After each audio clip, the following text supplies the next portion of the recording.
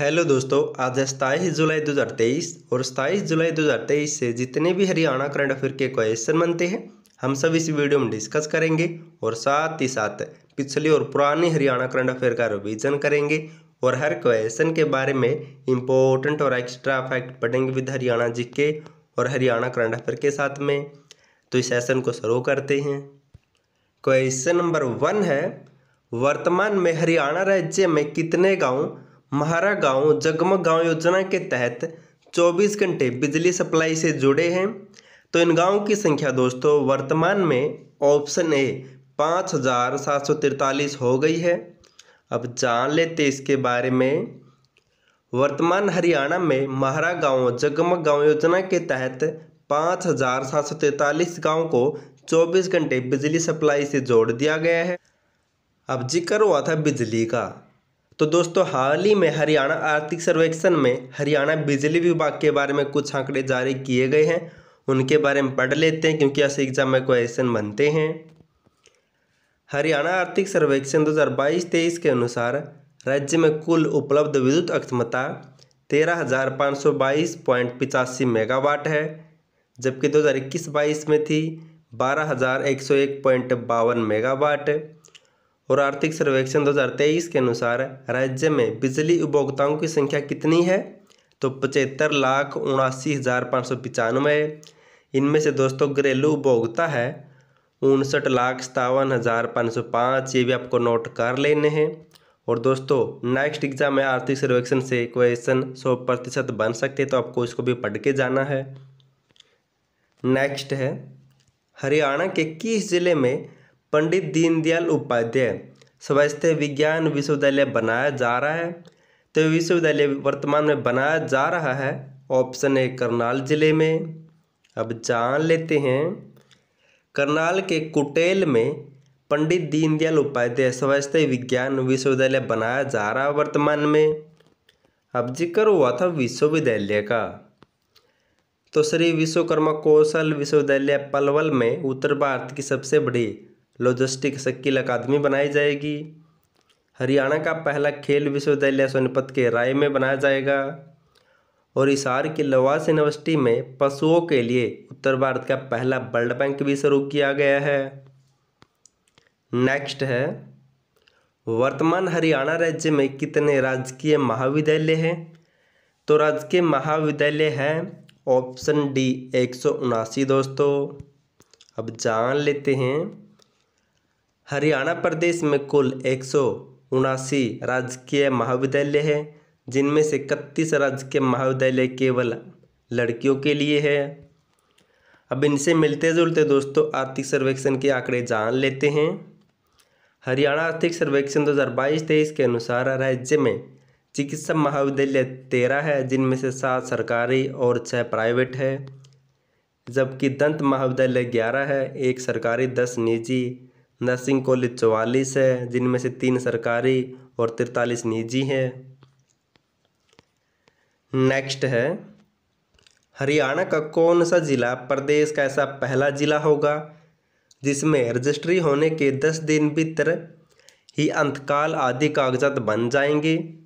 तो ऐसा ज़िला होगा ऑप्शन सी सोनीपत ज़िला।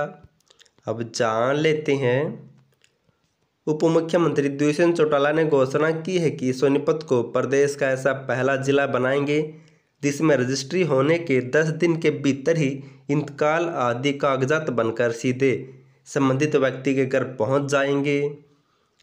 अब ज़िक्र हुआ था दोस्तों सोनीपत का तो इनसे मिलते जुलते कुछ और पॉइंट जान लेते हैं। हाल ही में सोनीपत के वीरेंद्र सिंह को मुख्यमंत्री का ओएसटी नियुक्त किया गया है। और सोनीपत के गाँव ताजपुर में राज्य का पहला कचरे से ऊर्जा संयंत्र प्लांट भी स्थापित किया गया है। और हाल ही में सोनीपत के अमित दहिया और कैप्टन परमिंदर आंतिल को सूर्य चक्र भी मिल चुका है। नेक्स्ट है, हाल ही में वर्ष दो हज़ार बाईस तेईस में सात हज़ार दो सौ चौरानवे किसानों द्वारा फ़सल अवशेष प्रबंधन कृषि यंत्रों की खरीद पर बयासी करोड़ रुपए का अनुदान किस योजना या किस बेस पर दिया गया था सरकार के द्वारा?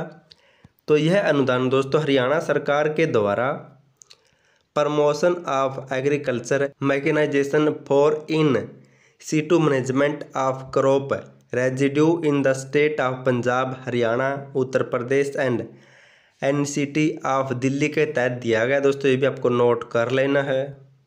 अब ज़िक्र हुआ था कृषि का। तो हरियाणा कृषि उद्योग निगम की स्थापना हुई तीन सौ सड़सठ में और हाल ही में इसका अध्यक्ष बनाया गया है कुलदीप सिंह मुल्तानी को। अगर दोस्तों आपको जून 2022 से वर्तमान तक, जनवरी 2023 से वर्तमान तक हरियाणा करंट अफेयर की बुक चाहिए विद इम्पोर्टेंट और एक्स्ट्रा ग्यारह टॉपिक के साथ तो डिस्क्रिप्शन में लिंक मिल जाएगा, वहाँ से डाउनलोड कर सकते हैं। या फिर आपको डिस्क्रिप्शन में एक व्हाट्सएप नंबर मिल जाएगा, उस पर मैसेज करके भी आपको दोस्तों ये बुक मिल जाएगी। अब दोस्तों, जो भी हमने पढ़ा, उसका फटाफट से रिविजन कर लेते हैं। वर्तमान में हरियाणा राज्य में कितने गाँव, महारा गाँव, जगमा गाँव योजना के तहत 24 घंटे बिजली से जुड़ चुके हैं? तो पाँच हज़ार सात सौ तैंतालीस नेक्स्ट है। वर्तमान हरियाणा राज्य में कितने राजकीय महाविद्यालय हैं? तो एक सौ उनासी है। नेक्स्ट है। हरियाणा के किस ज़िले में पंडित दीनदयाल उपाध्याय स्वास्थ्य विज्ञान विश्वविद्यालय बनाया जा रहा है तो करनाल के कुटेल में। नेक्स्ट है, हरियाणा का कौन सा जिला प्रदेश का ऐसा पहला जिला होगा, जिसमें रजिस्ट्री होने के दस दिन के भीतर ही इंतकाल आदि कागजात बन जाएँगे तो सोनीपत होगा ऐसा। नेक्स्ट है, हरियाणा राज्य में वर्ष दो हज़ार बाईस तेईस के अनुसार दो सौ बयासी करोड़ रुपये का अनुदान किसके तहत दिया गया था तो इसके तहत दिया गया था अब साथ ही साथ पिछले और पुरानी हरियाणा करंट अफेयर का रिविजन या टेस्ट कर लेते हैं, ताकि आपकी तैयारी का पता चल सके और आपका साथ ही साथ पुरानी हरियाणा करंट अफेयर का रिविजन भी हो जाए। क्वेश्चन नंबर वन है, हरियाणा की खिलाड़ी जैस्मिन ने उज्बेकिस्तान में हुई Asian savate kick boxing championship में कौन सा पदक जीता है? तो जैस्मिन ने दोस्तों इसमें ऑप्शन ए स्वर्ण पदक या गोल्ड मेडल जीता है। नेक्स्ट है हरियाणा की किस महिला को inspiring social worker of the year award दिया गया है? तो यह अवार्ड मिला है ऑप्शन डी, अमिता मारवाहा को। नेक्स्ट है, हरियाणा के किस ज़िले में कैनविन आरोग्य धाम स्थापित किया गया है? तो धाम स्थापित किया गया है ऑप्शन डी, गुरुग्राम ज़िले में। और राज्यपाल ने दोस्तों इस दाम का शुभारंभ किया था। नेक्स्ट है, हरियाणा राज्य में पहली से तीसरी कक्षा के अवलोकन और स्पार्ट असेसमेंट गतिविधियाँ किस ऐप पर दी जाएगी? तो ये सब गतिविधियों की जानकारी रखी जाएगी दोस्तों। Option D Nipun Haryana mentor app पर। नेक्स्ट है, हरियाणा में कहाँ पर रग्बी खेल नर्सरी स्थापित की जाएगी। तो खेल नर्सरी स्थापित की जाएगी। ऑप्शन सी, उचाना, जींद में। नेक्स्ट है, हरियाणा मानवाधिकार आयोग का कार्यकारी अध्यक्ष किसे नियुक्त किया गया है? तो हाल ही में दोस्तों, इसका अध्यक्ष बनाया गया है। ऑप्शन सी, ऑप्शन डी दी भाटिया को। और वर्तमान में हरियाणा में कौन क्या दोस्तों, मैंने इसके ऊपर एक वीडियो बना दी, इसे जाकर ज़रूर देखना। नेक्स्ट है हरियाणा के खिलाड़ी दीपक पोरिया ने ताशकंद में हुई विश्व मुक्केबाजी चैंपियनशिप में कौन सा पदक जीता है? तो दीपक बोरिया ने दोस्तों, इस चैंपियनशिप में ऑप्शन सी ब्रॉन्ज मेडल यानी कि कैसे पदक जीता है? नेक्स्ट है, हरियाणा राज्य में किस नगर निगम द्वारा मेरी लाइफ, मेरा सवच शहर अभियान शुरू किया गया था? तो यह अभियान शुरू किया गया था ऑप्शन डी, करनाल नगर निगम के द्वारा।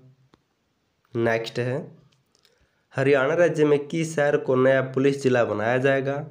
तो नया पुलिस जिला बनाया जाएगा दोस्तों, ऑप्शन बी डब्वाली को, और ये हरियाणा का पच्चीसवां नया पुलिस जिला बनेगा।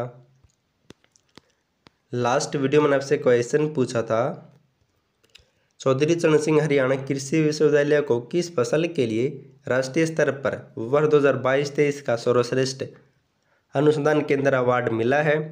तो यह अवार्ड मिला है ऑप्शन ए, जवार फ़सल के लिए। आज के लिए आपका क्वेश्चन है, जल जीवन मिशन के तहत हर घर नल से जल पहुँचाने वाला हरियाणा कौन सा बड़ा राज्य बना है? और लगभग कितने घरों में दोस्तों जल पहुँचाया गया है? और वर्तमान में हरियाणा जल अथॉरिटी का अध्यक्ष कौन है, ये आपको कमेंट करना है। अगर आपको हरियाणा करंट अफेयर की बुक चाहिए, एक महीने, दो महीने छः महीने या साल या दो साल की तो डिस्क्रिप्शन में लिंक मिल जाएगा, वहाँ से डाउनलोड कर सकते हैं।